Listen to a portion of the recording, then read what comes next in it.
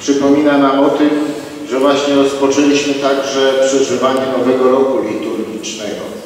W tym roku liturgicznym przeżywamy i rozważamy wszystkie tajemnice naszej wiary, począwszy właśnie od przygotowania na przyjście Pana Jezusa, od Bożego Narodzenia, potem Wielki Post, Wielkanoc. Dziś w naszej parafii przeżywamy także uroczystość ku czci świętej Barbary, patronki górników.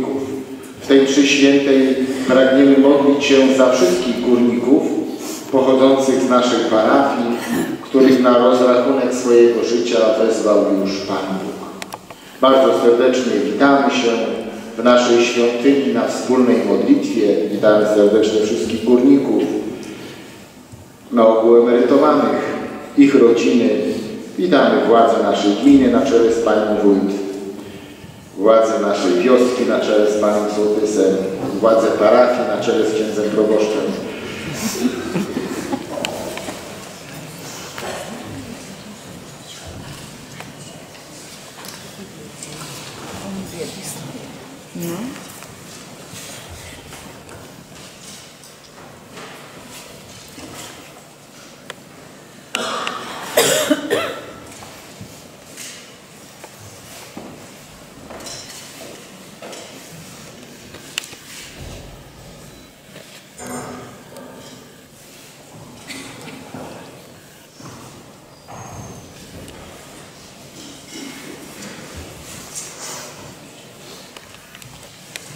Są legendy.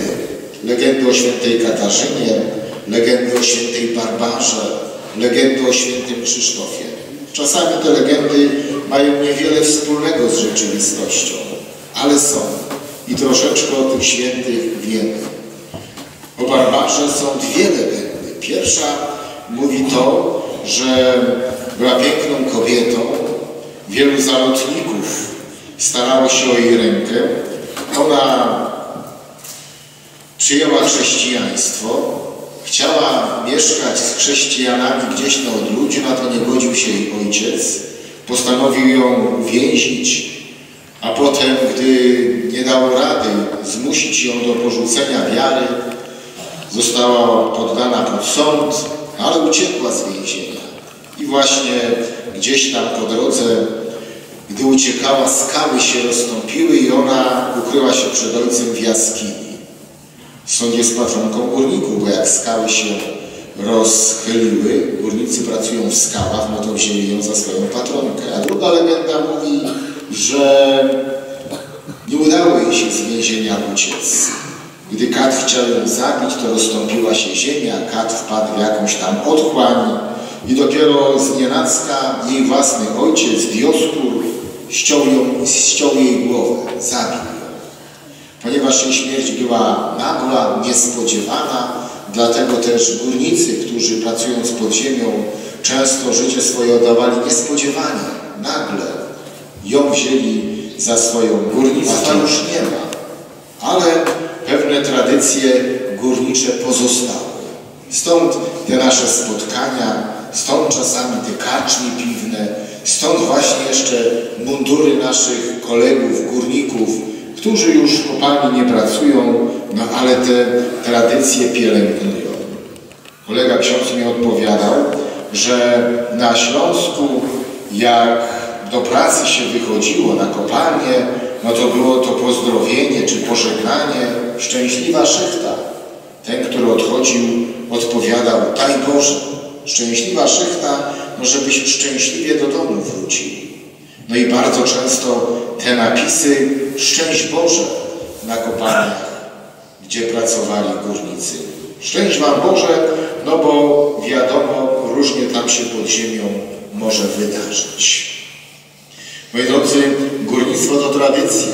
Do Polski tradycja związana ze świętą Barbarą, do polskich Marków przyszła z Czech. Czesi wcześniej ją świętowali my. Do Czech przyszła z Niemiec, no bo Niemcy jeszcze wcześniej świętą Barbarę uważali za swoją patronkę. Może dlatego, że chrześcijaństwo tam wcześniej do nich przybyło, że bardziej właśnie jakoś byli może bliski tych trendów, które gdzieś bliżej Watykanu, na, z Watykanu na świat się rozlewały. Święta Barbara to patronka górników, ale także patronka dobrej śmierci, hutników, lisaków i co ciekawe więźniów, dlatego że sama była kiedyś uwięziona. Moi drodzy, nie ma górnictwa u nas, ale są te piękne tradycje. Oby one trwały.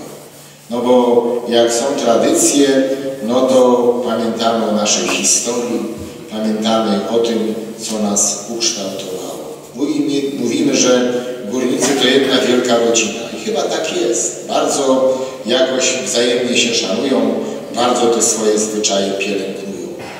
Ja z górnictwem nigdy nie miałem nic wspólnego, ponieważ pochodzę z rodziny kolejarskiej, gdzie patronką jest nasza patronka, święta Katarzyna. I jeżeli te tradycje, zwyczaje trochę rozumie, to dlatego, że kolejarze to też jedna wielka rodzina. Oni się wzajemnie pozdrawiali, wzajemnie świętą Katarzynę świętowali. Często, a ponieważ trochę na parowozach, na lokomotywach już jeździłem, gdzieś tam w kąciku mieli yy, obrazek świętej Katarzyny, aby się nimi opiekowała, aby żadne nieszczęście w czasie pracy na nich nie przyszło.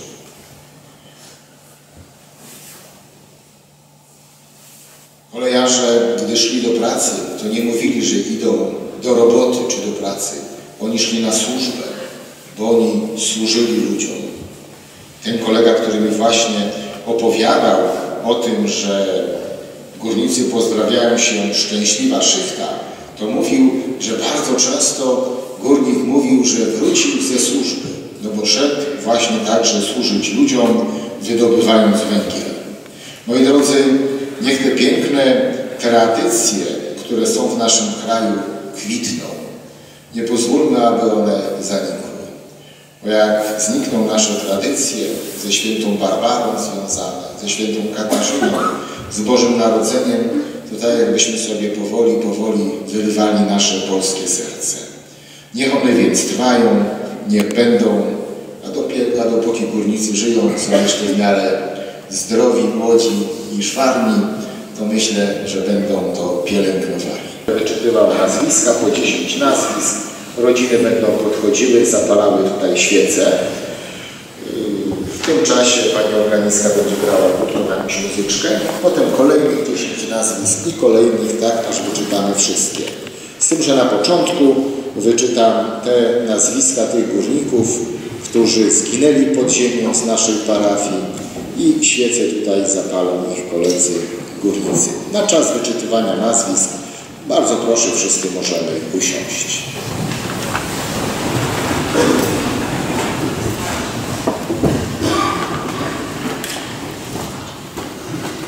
Panu Bogu przedstawmy tych naszych braci górników, którzy zginęli pod ziemią.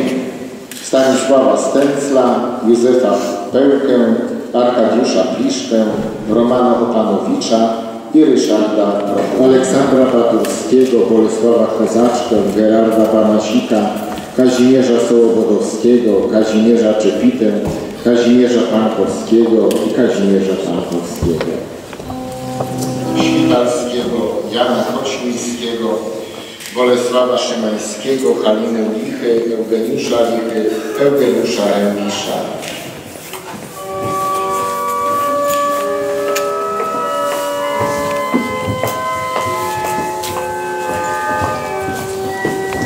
Polecamy Panu Bogu Świętej Pamięci Leopolda Mateję, Józefa Szmana, Henryka Niszewskiego,